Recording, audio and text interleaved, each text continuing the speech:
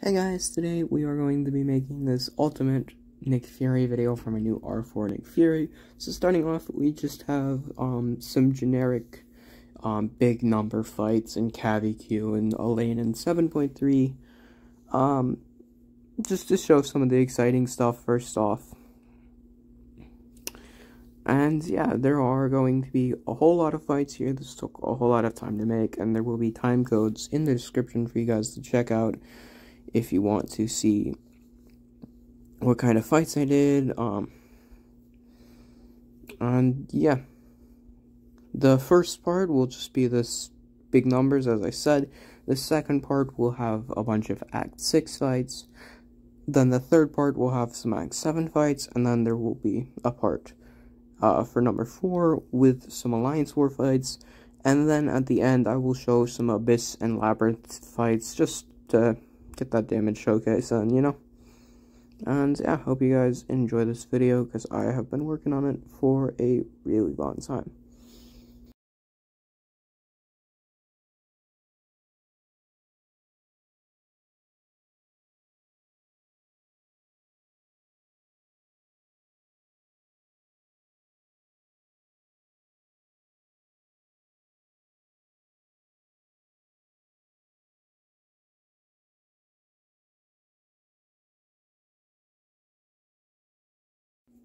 So yeah, here we are going into 7.3.3 um, for this Paradox debuff potency lane and Do You Bleed.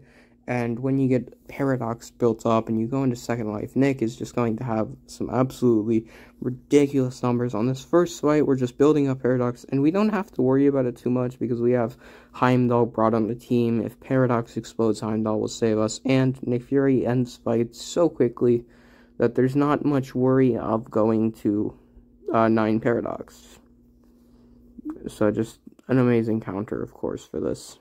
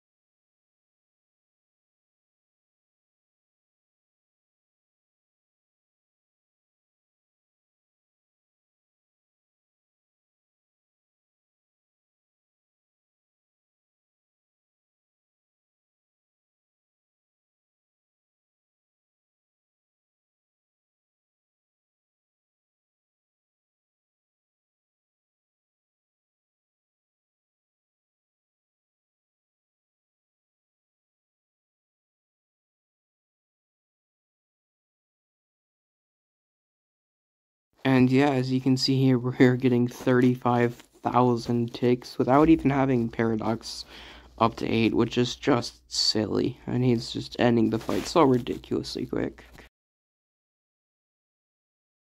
And here we are going to Act 6 now for part 2 of this video. Up first, we have the 6.1.5 champion. Not necessarily the same roadblock it used to be back in the day, but Nick Fury, due to shrugging debuffs in Second Life, is just going to be an absolute beast for this. And I wanted to put this as sort of a baseline of Nick Fury's damage without the bleeds. Keep in mind there is Arc Overload here, which is giving an absolute fuck ton of healing to Crossbones. So, his health pool is a little bit deceiving in the fact that he will have a lot more health in this fight than is you know, shown in that health pool. And yeah, just going to be uh, trying to throw L1s, um, one, to give extra furies, and two, to give crossbones extra power. Um, using the strategy, you're going to be able to just throw L1, bait L1 for a lot. And when you have two Furies up, your damage is going to get a pretty big boost.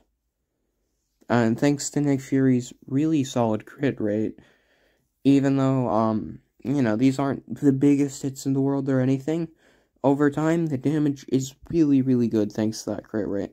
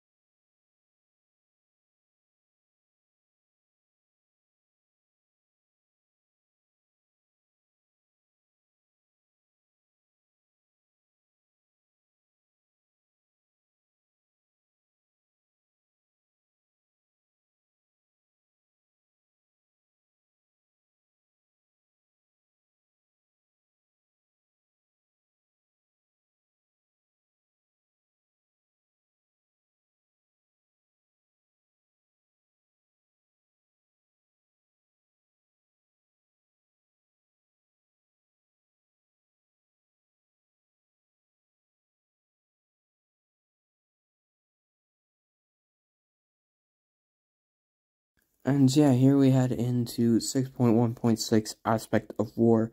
There are a lot of Aspect of War lanes in 6.1. It's one of the most tricky nodes in 6.1.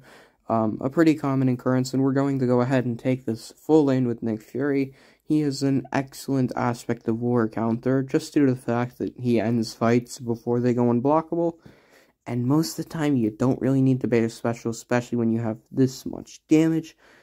Of course, 6 star R4 in Act 6 is a little bit deceiving due to how much you're punching down in content, but a 5 star Nick Fury will do this just the same. It is a lot of overkill for this fight, as you can see there. When you go down to this kind of health pool, his damage just looks absolutely broken. And man, I'm just in love with this R4 Nick Fury. Uh, I remember when I first did this lane, I had been really, really struggling to get through it. Um, back when, you know, I barely had R5s, let alone R4 6 stars. And man, the difference now with R4 6 stars and X6 is just ridiculous. Of course, as expected, they are way ahead of the curve for this content, and Nick Fury is just an absolute powerhouse.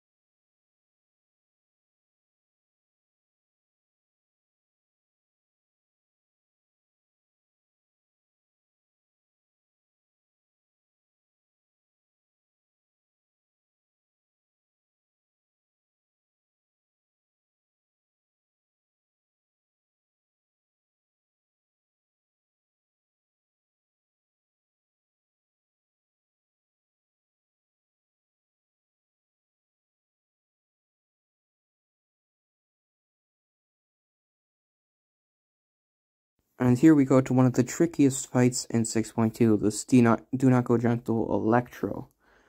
Um, the main issue here is the poison and regen compared with, uh, combined with Electro. When this was released, there were not many champions who were able to take this fight. I believe it was just Corvus and Omega Red upon release that were generally considered good options. And the combination of Do Not Go Gentle here just combines into everything else to make this a really tricky fight. Uh, Nick Fury is just absolutely demolishing it through brute force. Of course, Do Not Go Gentle takes you down a bit, but just absolutely fantastic. And now 6.3 Medusa. Um, this Medusa is uh, another one of those roadblock bosses in Act 6 if you don't have a proper counter to her. Admittedly, a lot more counters have been released again since this fight was originally um, created, and Nick Fury is definitely the best counter. You dex before you go into second life to keep your fear, your fury up, and then your damage is just ridiculous thanks to bleed vulnerability and um, do you bleed combined here, or anyone with really big bleeds will do really amazingly. The Furies don't really scale that all that well, so you are perfectly fine to stay in first life, and your damage will still be absolutely ridiculous. Um, but I did want that unblockable from second life. And yeah, as you can see, the fight's pretty much already over while I was talking about it. Just very, very silly.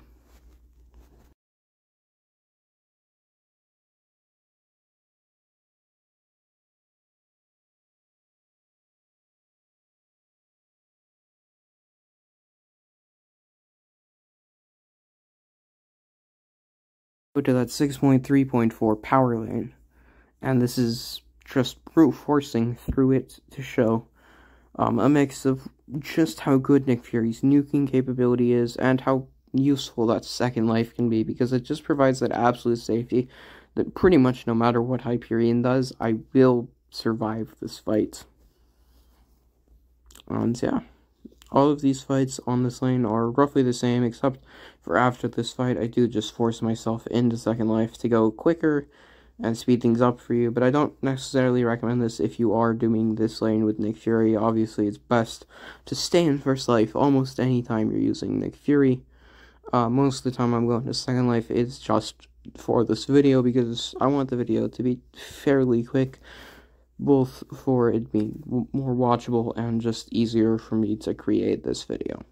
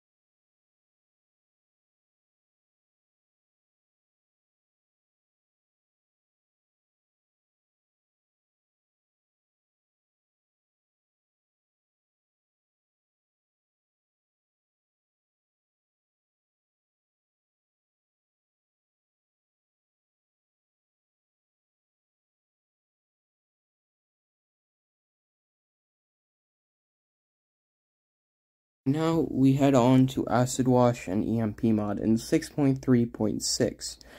Now the main issue here is really just EMP mod combined with some of these defenders like Scar Scarlet Witch, who gives the opponent lots of buffs. And then there is a Nightcrawler who has Evade, and then there's a MODOK later on, and there is an Ebony Maw. Nick Fury works well for a lot of these. Um, and yeah, it just lets you nuke through with his pure damage, of course. Whenever you have so much damage, there's a lot that you shouldn't really be able to fight that you can just nuke through. And this lane is a perfect example of that.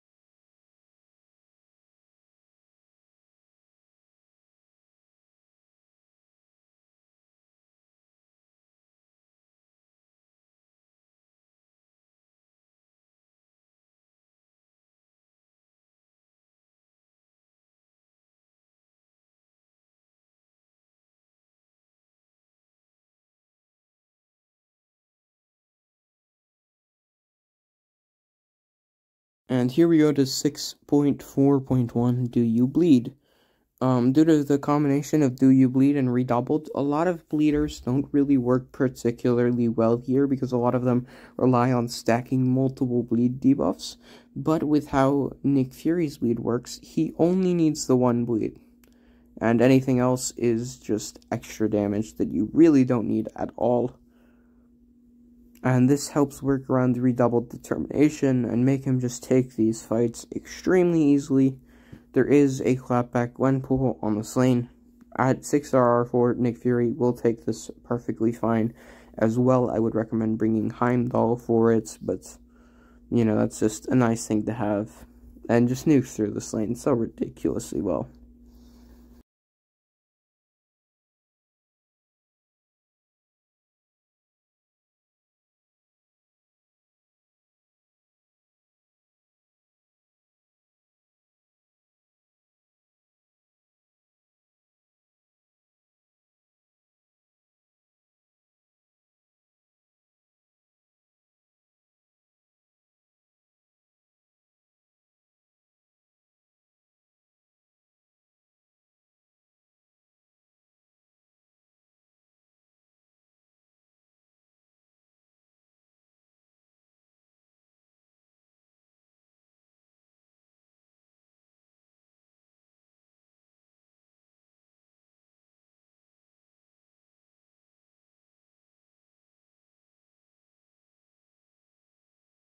We go to we go to 6.4.4 and this has the energy adoption incinerate and the debuff you use to turn off the incinerates for this energy adoption version is bleeds. And of course Nick Fury is going to work extremely well for this. And then Icarus is pairing extremely well with Nick Fury to just give crazy damage and just mowing through these fights with Icarus.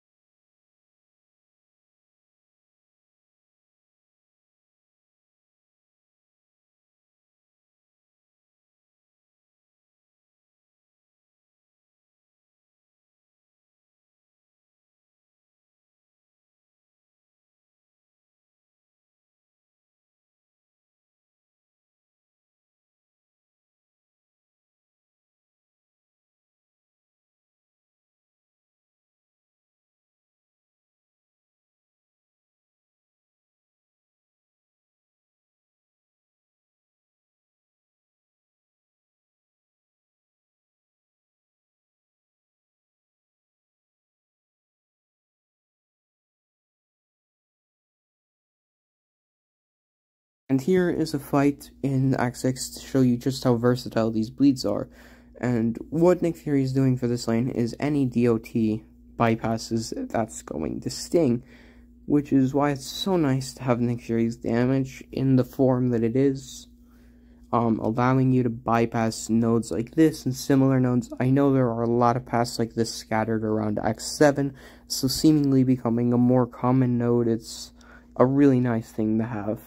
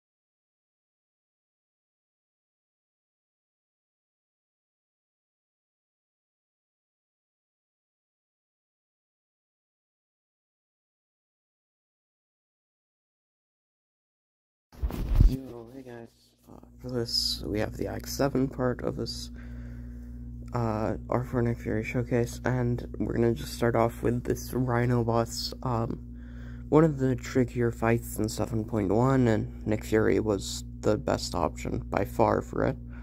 So as you'll see, it's Power Shield, and there's this tramp tantrum node where you have to have a disorient or a couple other debuffs to be able to turn it off and if you don't turn it off, you will take some burst damage when you knock the opponent down. So of course, Nick Fury having that easy access to uh, Disorient on his L1 is an amazing option for this.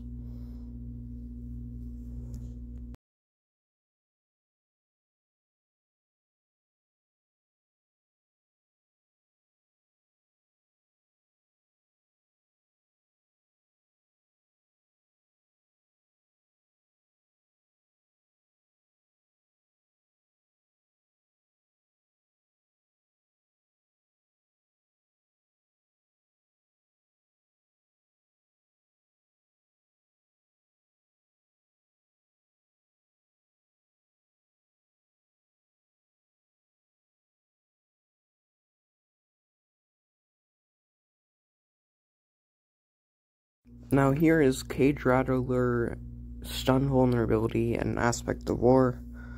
The basic idea here is you want to end fights pretty quickly, and that's just the main strat for this. Of course, you can use someone that counters Aspect of War, but just ending the fight before anything matters works best. And as you can see, with Stun Vuln, Nick, even in First Life, is just absolutely demolishing all of these Um, and it's just a joke of a lane with him.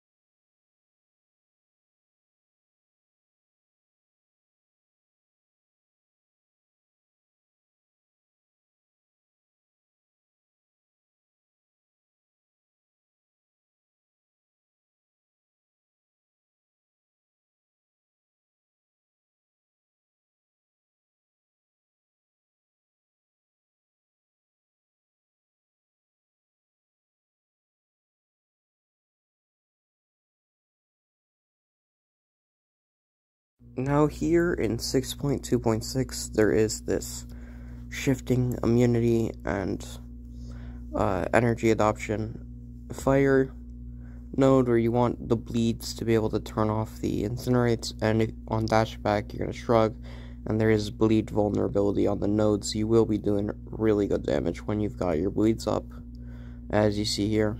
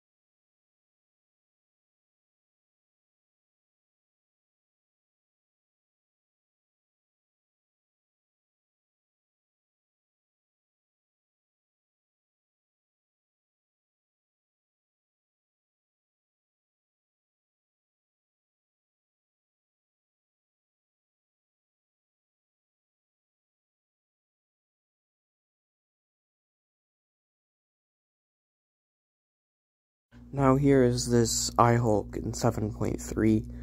Um, it has uh, Protect Heavy Hitter for the ebb and flow thing. And has Do Not Go Gentle. Um, Nick Fury is just going to work extremely well here because of the bleeds bypassing iHulk's immortality, making the fight just really, really easy.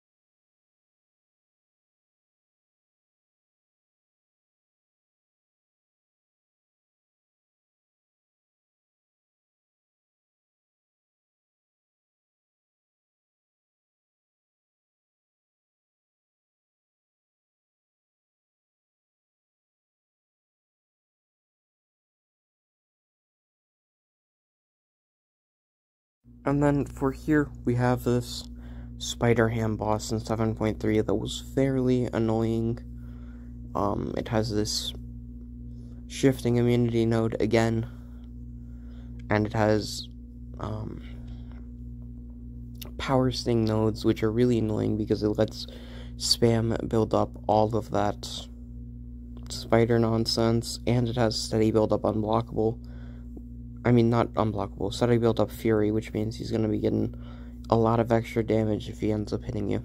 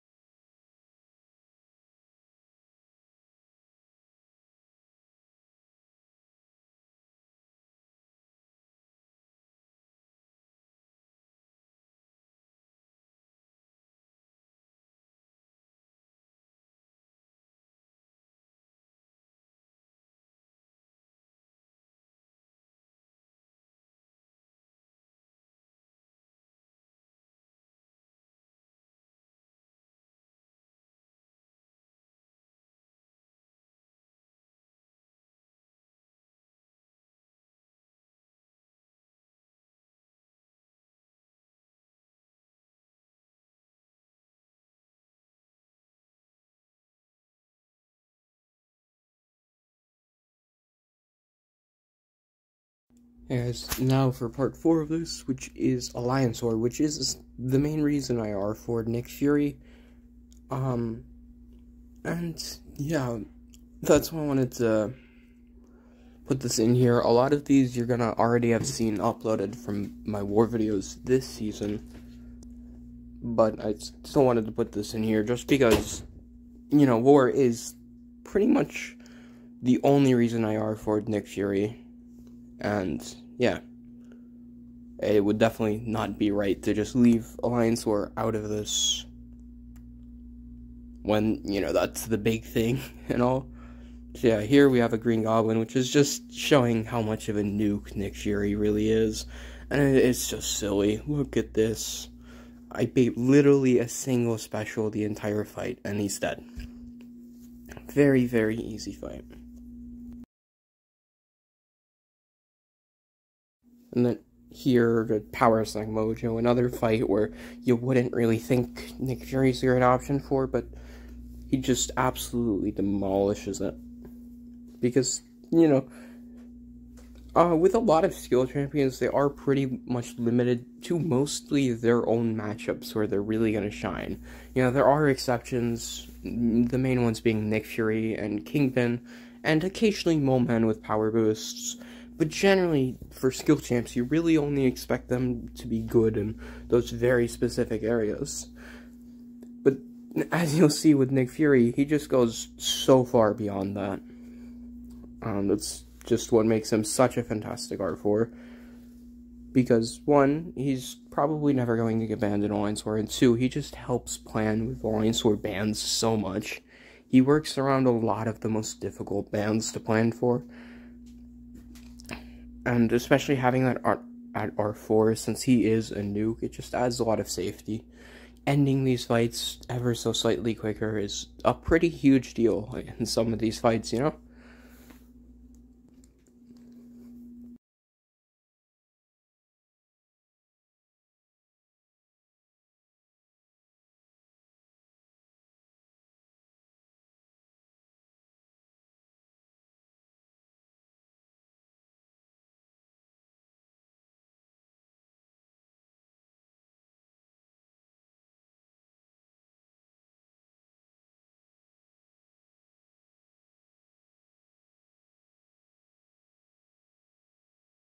And yeah, here's a thing just to show you a fight without the bleeds and what his damage is like there. And the reason he's doing so much damage seemingly in this fight is because Nick Fury has a really high crit rate. It's one of the highest crit rates in the game, which allows him to still do respectable damage on fights like a thing, which is a really nice touch on his kit.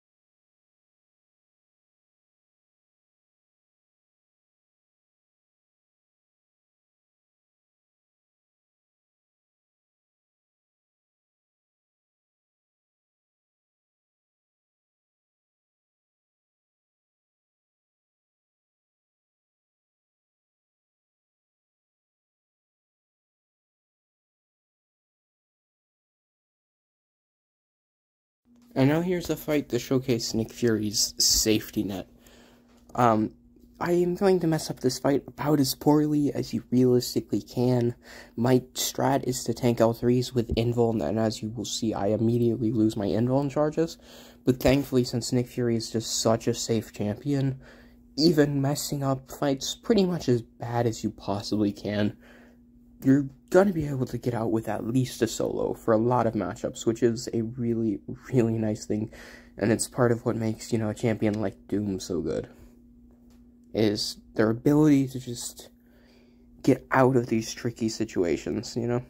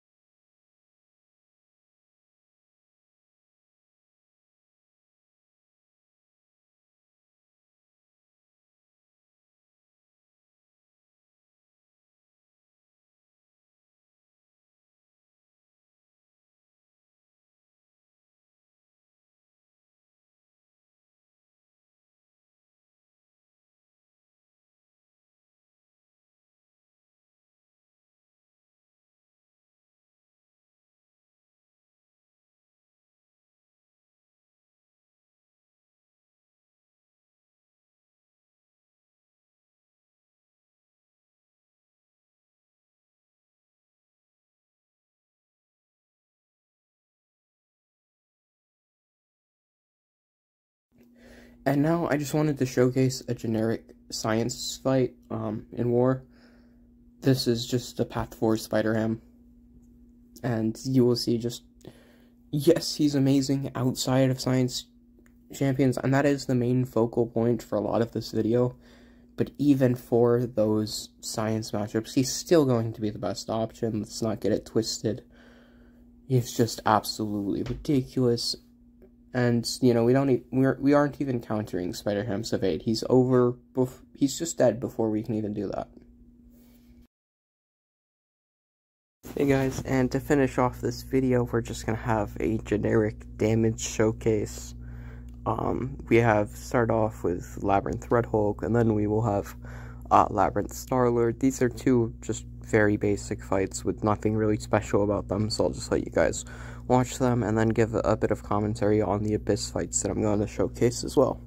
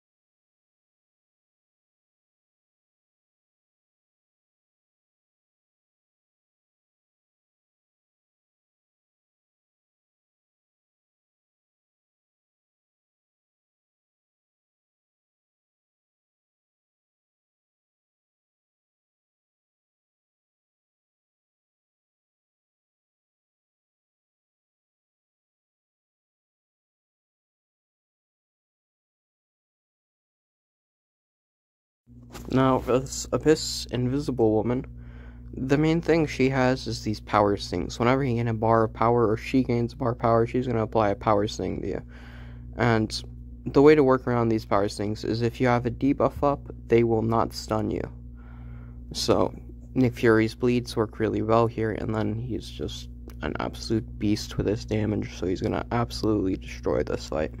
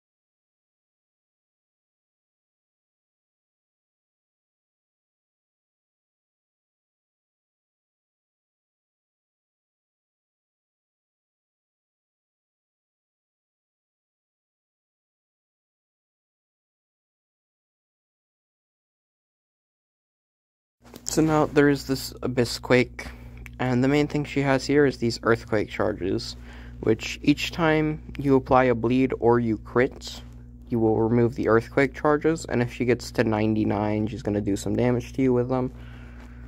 And yeah, I wasn't able to get a solo on this fight. Um, it's very doable, I just suck at dexing Quakes L1.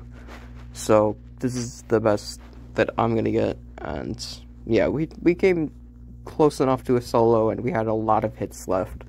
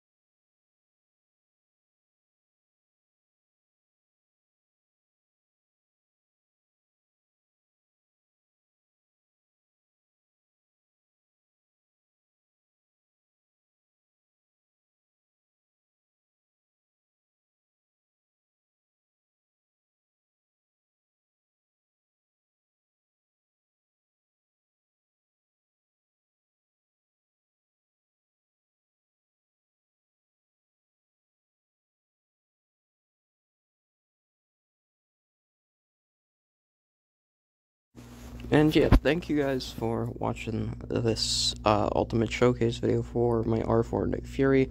I am super happy with the R4 after a few weeks of using him in content and Alliance War. I just couldn't be happier. Definitely happy with my decision to R4 Nick Fury. He's been an absolute beast in Alliance Wars, I'm sure you guys have all seen. And there's something that I haven't really talked about yet in any of my videos or anything, and it's having an R4 Nick Fury is making planning significantly easier. When you can send Nick Fury to just kind of random bullshit matchups that he's going to be a best option for, even though there's not really much going for him in the fight, sort of similar to what I was doing with Doom. It just is going to make planning so much easier, and Nick Fury's L1 works really well for high ground. And having that second life provides so much safety that you can get away with a lot in war, and that is just such a nice quality to have.